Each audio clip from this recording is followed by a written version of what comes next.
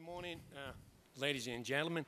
It's, uh, it's, a, it's a privilege uh, for me to be here and to present uh, the, the vision of uh, our company about this special, this very special uh, subject, LTE, Tetra, what's, what's next. Actually, I, will just a very important message. I'll skip some of the slides just because we are running out of uh, of time, and my friend here is urging me to be fast, and uh, everybody probably is waiting for, for, the, for the break. In any case, um, three years ago, in, uh, at the Tetra World Congress in 2009, actually, I, I attended um, uh, the first stream about uh, using Tetra with uh, complementary technologies.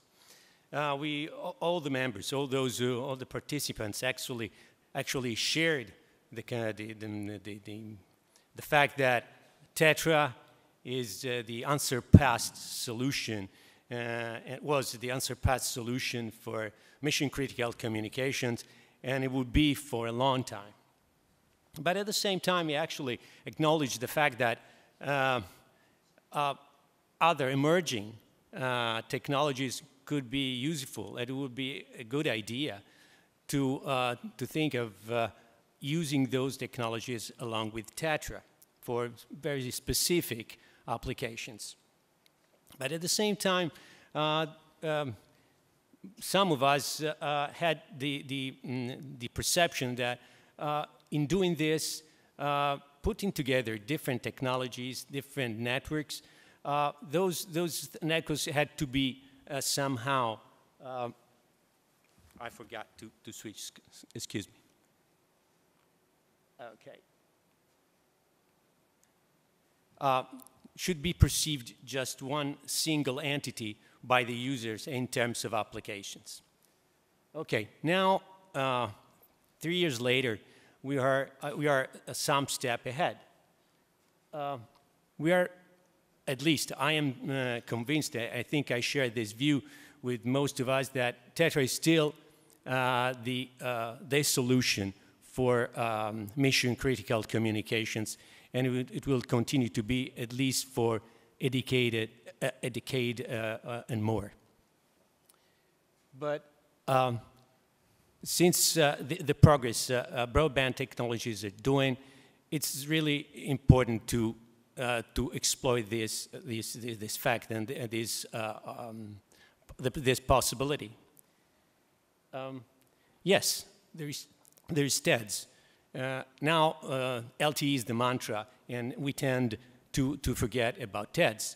But TEDS is something that we should uh, think of and use and exploit whenever uh, the, mm, the spectrum regulators uh, will allow for uh, adequate frequency for the usage of such, of such addendum to, to Tetra. But uh, our, my company, Selex has, can provide uh, TEDs, but at the same time is investing in uh, LTE. And it's something that you can, you can check and verify at our stand here at the Tetra World Congress.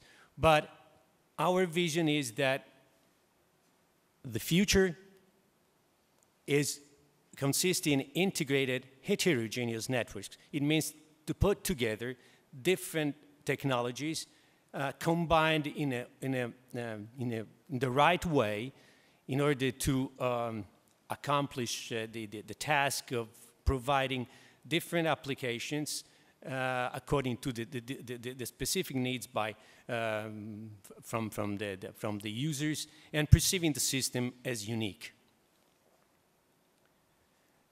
Uh, which are the key points uh, for, for presenting this concept? Actually, uh, we, we, recognized that uh, beyond the, the cri mission critical communications, there are other um, services uh, we, we, which need uh, uh, higher capacity.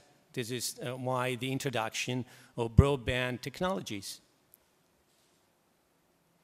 Then there is this, this basic point that we have to master the integration of these heterogeneous networks And that's why we need a, a, a, an integrated communication platform.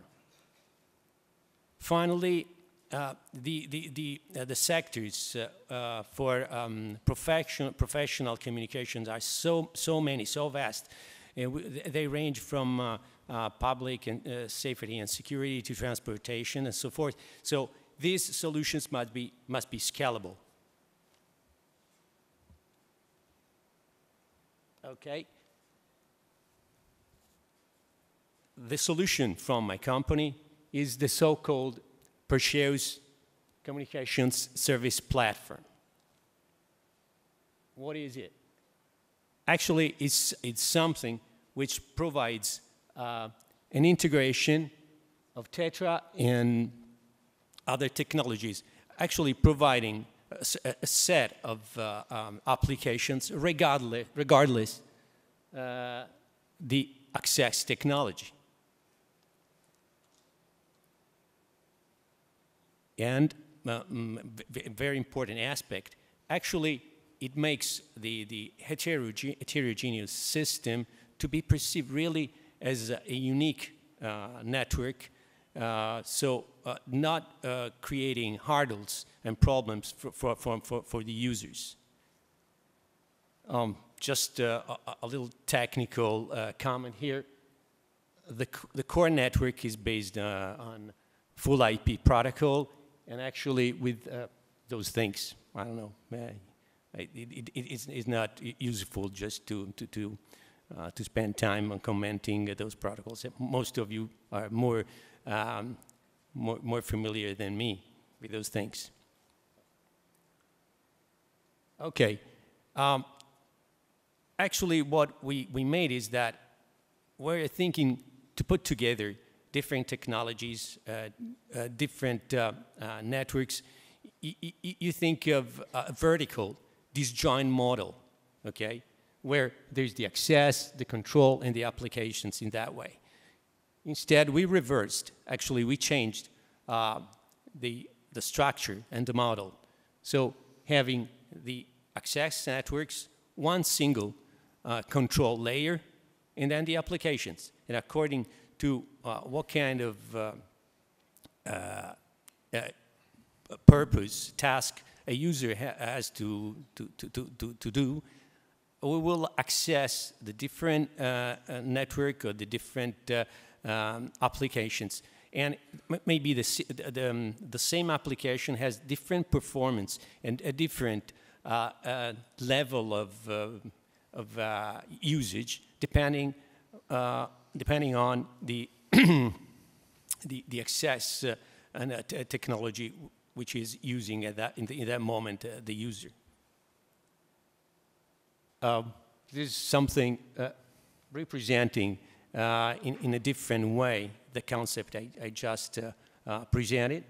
And so there, the different, the various access technologies, the standard familiar PMR technologies, LTE. Also, in, in, our case, in, in our, in, uh, considering our background and, our market, also military um, technologies, and then they are combined and controlled in, in, in a single, in a single um, platform, having, uh, make, make, making available uh, st standard communication services, and then uh, making, making available instead uh, the various applications. It is important to, um, to stress that um, a, a, an important feature of the solution that it must be scalable. So we can um, uh, start from a transportable system mounted on a vehicle on something larger, uh, fixed, uh, which, ca which can be put, set up uh, just to, mm, to take care of uh, a special event, in, a, in, in, any case, in a um, limited area. But then we can, we can think of uh, large networks, large systems, like nationwide systems, where you, have, you, you can have also uh, different um, technology and networks uh, other than uh, Tetra, just to cover single spots and providing uh, those broadband uh, services which are, are, in some cases, cases required. Okay, I'll skip all these uh, slides just to make my friend here uh, happy. And uh, just because they uh, represent uh, the scheme on, on, um, in, in a very pictorial way, how this integration takes place from, from the point of view of users.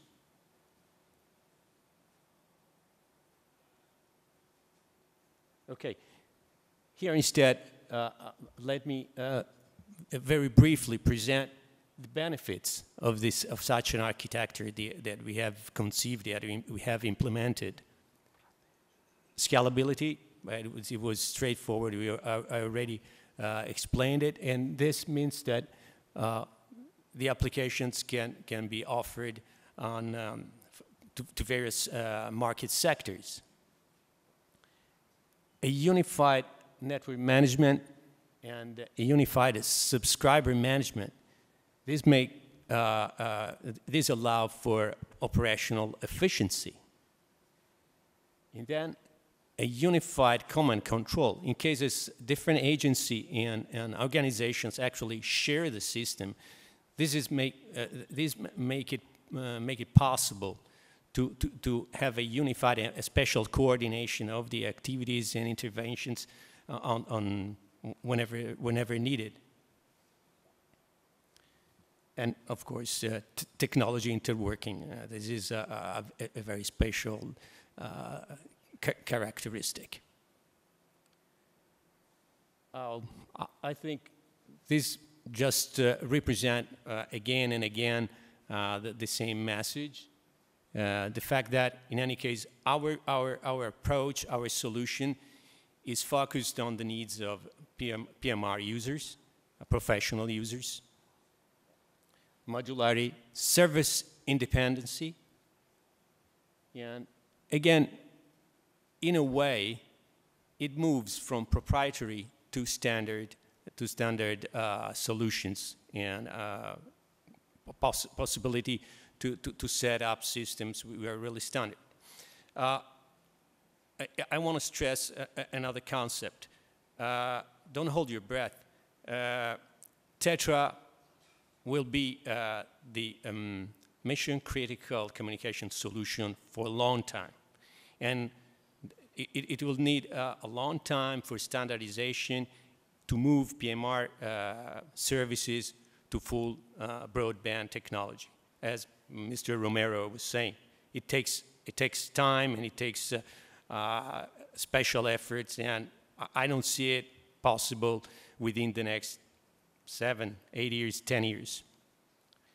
I'm almost finished. I hope uh, I, was, uh, I was good.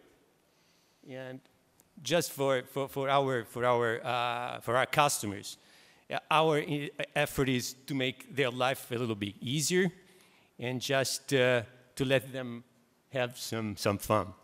Okay, thank you very much.